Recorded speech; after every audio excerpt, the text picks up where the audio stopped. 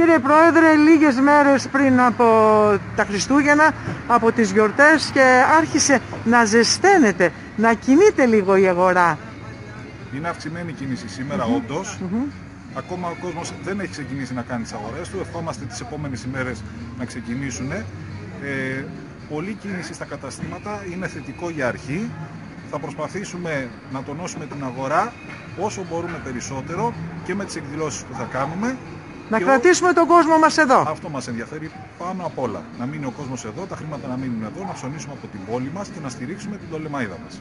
Οι εκδηλώσεις αυτές πόσο συνέβαλαν ώστε να αναθερμανθεί λίγο έτσι η κίνηση; Αρκετά και ο Δήμος έχει κάνει πάρα πολλές ενέργειες. Και Συνεργαστήκατε καλά με το Δήμο Εορδέας; Θα έλεγα άψογα ότι συνεργαστήκαμε και το τρενάκι που κάνει είναι έτσι πάρα, πρέπει. πάρα πολύ ωραίο και όλος ο στολισμός της πόλης είναι πάρα πολύ ενθαρρυντικό το ότι φωτίστηκε η πόλη και ο κόσμος βοήθησε να βγει έξω στα γιαψόνια, στις αγορές του και ό,τι καλύτερο ευχόμαστε για όλους. Χρόνια πολλά, καλές γιορτές να έχουμε όλοι μας. Καλές γιορτές κύριε με Πρόεδρε. Υγεία, με υγεία. Καλά Χριστούγεννα έτσι. έτσι. Καλά επίσης.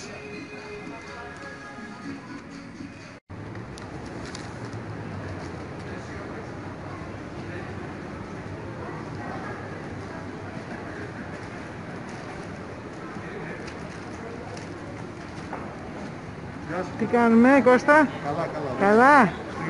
Ψωνίσαμε, ψωνίσαμε. Ζεσταίνεται η αγορά όσο πάει, ε. Όσο πάει η κίνηση αυξάνεται. Αυτό είναι θετικό. Ο κόσμος βγαίνει. Ψωνίζει. Έτσι λοιπόν το κρύο, ναι. Ε, δεν κάνει και πολύ κρύο, μια χαρά είναι.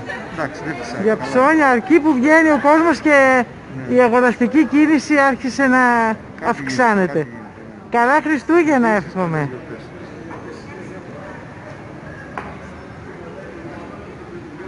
Γεια σας, καλά Χριστούγεννα.